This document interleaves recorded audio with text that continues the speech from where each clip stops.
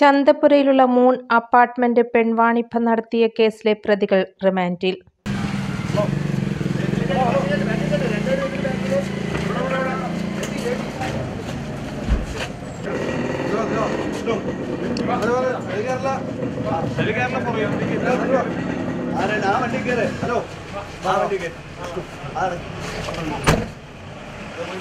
സ്ഥാപന നടത്തിപ്പുകാരനും നാല് സ്ത്രീകളും ഉൾപ്പെടെ ഏഴ് പേരാണ് പിടിയിലായിരുന്നത്. ചന്തപ്പുര ധവളക്കുളത്തിനോട് ചേർന്നുള്ള മൂൺ അപ്പാർട്ട്മെന്റിലായിരുന്നു സംഭവം.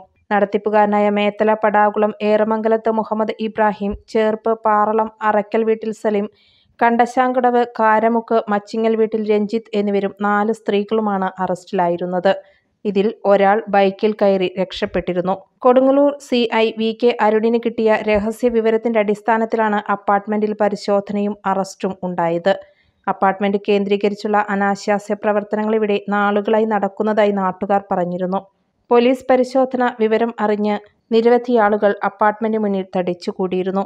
അപ്പാർട്ട്മെന്റ് ഉടമ നടത്തിപ്പിനായി മാസവാടകയ്ക്ക് കൊടുത്തതായതാണ് സൂചന. ഇൻസ്പെക്ടർ അരുൺ ബി കെയെ കൂടാതെ S I Sebi A S I Sumesh Rajesh Gopakumar C P ഒമാരായ Sreekala Jomerson Binil Vishnu എന്നിവരും പോലീസ് സംഘത്തിൽ ഉണ്ടായിരുന്നു.